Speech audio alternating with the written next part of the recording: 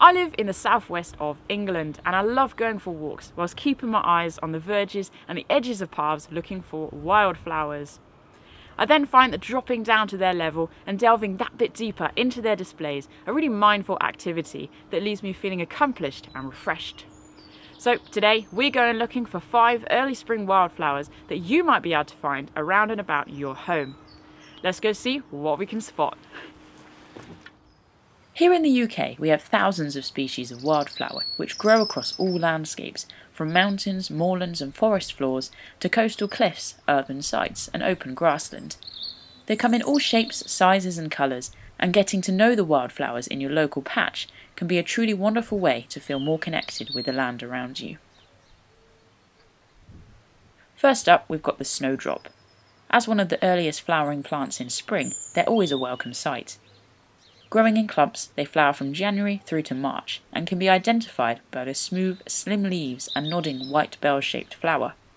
You can usually find snowdrops in areas with damp soil, and although formerly considered as a native species, snowdrops are actually a relatively recent arrival to the UK, first recorded in the wild here in 1778. Interestingly, they were traditionally used to treat headaches and as a painkiller, but in modern medicine, a compound in the bulb of the snowdrop has been used to develop a dementia treatment. That being said, snowdrops and their bulbs are poisonous to humans and can cause nausea, diarrhea, and vomiting if eaten, so we definitely wouldn't recommend that. Daffodils are considered as one of the heralds of spring and usually flower between March and April. Our native daffodils, also known as the Lent or Easter lily, are smaller than most garden varieties, with paler petals and a deep yellow trumpet like tube, whilst the leaves are grey green, thin, long, and flattened. Often they grow in groups, painting a striking splash of colour wherever they grow, such as damp woodlands, fields, grasslands, or orchards.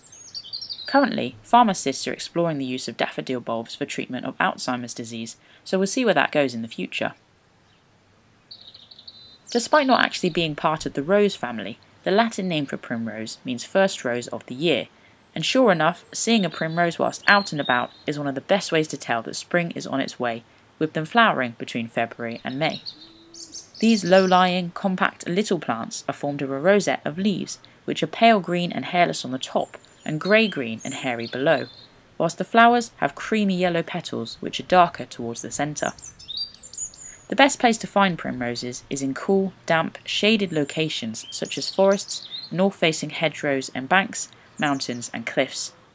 Other names for primroses are golden stars or darling of April, and they just so happen to be the county flower of Devon.